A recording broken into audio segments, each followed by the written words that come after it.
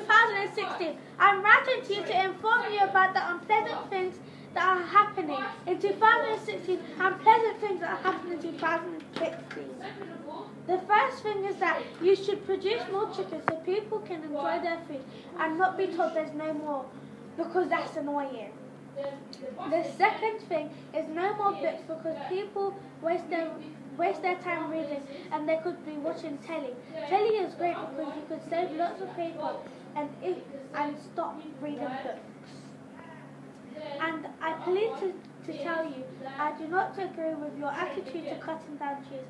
There's not going to be enough oxygen to go around to go around to people if you are cutting down trees, and people are going to start dying. My last my last plea is to tell you to get rid of racism. Everyone should be treated equally. We should arrest people who are racist and keep them away from good people. Yours sincerely, Anastasia, comma, Stacy.